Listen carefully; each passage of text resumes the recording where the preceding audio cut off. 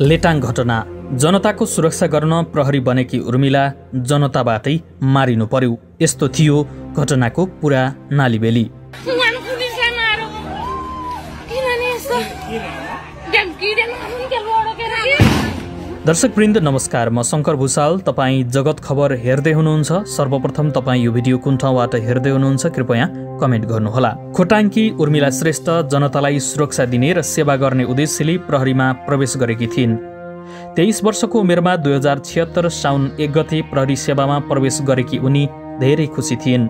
छब्बिस वर्षकी उर्मिला आफ्ना दाइकै पाइला पछ्याउँदै प्रहरी बनेकी हुन्। उदयपुरको त्रियुगामा विवाह गरेकी उनले प्रहरी जवानलाई नै जीवनसाथी रोजेकी थिइन्। तर उनी जसको सेवा गर्छु र जसलाई शान्ति सुरक्षा दिन्छु भनेर प्रहरी बनेकी थिइन् उनीहरूकै आवेगबाट मारिनु पर्यो। घर परिवार आफन्त र साथी सङ्गीका आँखा चिसो बनाउँदै उनी सदाका लागि अस्ताइन्। प्रदेश प्रहरीगण विराटनगरमा कार्यरत श्रेष्ठ मोरङको लेटाङ पाँचमा झडपमा परेर मारिएकी हुन्। होली खेल्ने क्रममा गत शुक्रबार एक विद्यार्थीलाई दुर्व्यवहार गरेको आरोप लागेका शिक्षा विकास माध्यमिक विद्यालयका शिक्षक मनोज पौडेललाई प्रहरीमा बुझाउने तयारी थियो। विद्यालयमा शिक्षक र गाउँले बीचको छलफलपछि आरोपितलाई त्यत्तिकै बाहिर निकाल्दा भिडले आक्रमण गर्ने डर थियो। प्रहरीमा बुझाएपछि पौडेललाई कुनै कारवाही नहुने भन्दै एउटा समूह आफैले कारवाही गर्न भन्दै अराजक बनेको थियो। अर्को पक्ष पौडेललाई जोगाउन लागि परेको थियो। दुई पक्षका कारण लेटाङमा तनाव बढ्दो थियो।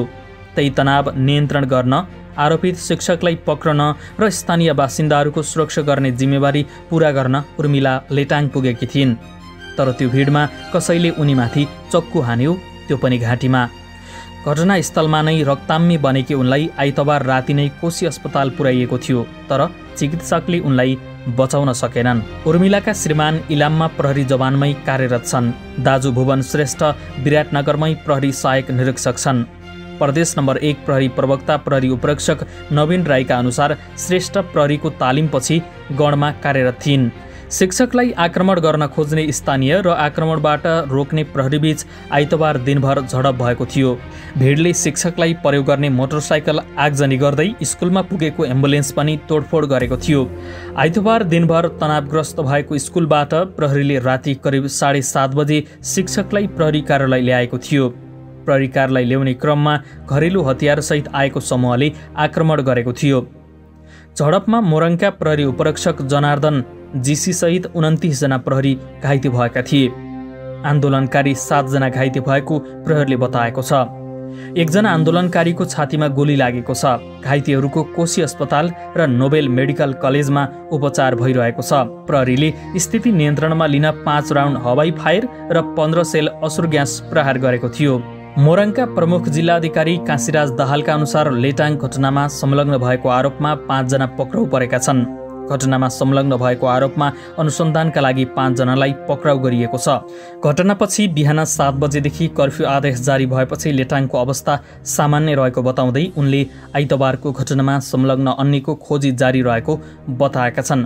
प्रहरीले घटनाको विषयमा गम्भीर अनुसन्धान गरिरहेको बताइएको छ। यता लेटाङमा भएको घटनाको छानबिन गरिने प्रदेश एक प्रहरी कार्यालयले पनि जानकारी गराएको छ। प्रदेश प्रहरी कार्यालयका प्रमुख डिआइजी अरुण विसीले घटनाको छानबिन हुने बताएका छन्। यत्रो ठुलो घटना भएको छ प्रहरी जवानको नै मृत्यु भएको छ। हामी केही न केही छानबिन गर्छौँ विसीले भनेका छन्। विसीले आक्रोशित स्थानीयको भिड नियन्त्रण गर्न गएको प्रहरीमाथि आक्रमण भएको बताएका थिए। आइतबार दिउँसो भएको उक्त घटनामा परि एक प्रहरी महिलाको मृत्यु हुनुका साथै दुई दर्जन प्रहरी घाइते भएका थिए यस्तै आधा दर्जन सर्वसाधारण पनि घाइते भएका थिए। धेरैजसो निको भएर घर फर्किसकेका छन्। सो घटनामा परि प्रहरी जवान उर्मिला श्रेष्ठको मृत्यु भएपछि प्रहरीले घटनाको गम्भीर छानबिन गर्ने डिआइजी बिसीले बताएका छन्। यस्तो थियो घटनाको नालीबेली। चैत्र चार अर्थात् तराईको होलीका दिन विद्यालयका शिक्षक छेपन्न वर्षीय मनोज पौडेल कक्षा सातमा अध्ययनरत छात्राको घरमा पुगेका थिए। घरमा ती शिक्षकले विद्यार्थीसँग पानी मागेका थिए तर पानी ल्याएर दिने क्रममा ती शिक्षकले छात्रामाथि यौन दुर्व्यवहार गरे। त्यसपछि आफैलाई पढाउने शिक्षकले आफूलाई यौन दुर्व्यवहार गरेको भन्दै तेह्र वर्षीय किशोरी अभिभावक लिएर आइतबार बिहान विद्यालय प्रशासनमा पुगिन्। तर प्रशासनले आपसी समझदारीमै मिलाउनु पर्ने कुरा निकालेपछि विद्यालयका विद्यार्थीहरू आरोपित शिक्षक पौडेल विरुद्ध आक्रोशित भए।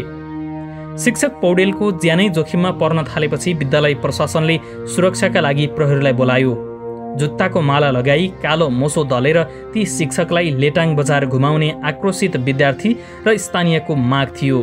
तर प्रहरीको टोली पुगेर शिक्षक पौडेललाई विद्यालयमै थुनेर सुरक्षा दियो। विद्यार्थी र अभिभावकले दिनभर विद्यालय परिसरमा नाराबाजी र आगजनी गरे। शिक्षक पौडेलको को सत्ताइस प उन्नाइस एक्काइस नम्बरको मोटरसाइकल जलाइदिए। तर शिक्षकले यौन दुर्व्यवहार गरेपछि उनलाई पक्राउ गर्न छाडेर उल्टै सुरक्षा दिएको भन्दै आक्रोशित विद्यार्थी र स्थानीय प्रहरीमाथि जाइ लागेका हुन्। विद्यालयभित्रै लुकेर बसेका आरोपित शिक्षक पौडेललाई प्रहरीले बेलुका निकाल्ने क्रममा आक्रोशित भिडले स्थिति नाजुक बनेको थियो। अवस्था नियन्त्रणमा लिन प्रहरीले असुर ग्यास प्रहार गर्न थाल्यो। त्यही बेला झडप भएको प्रहरीले जानकारी गराएको छ।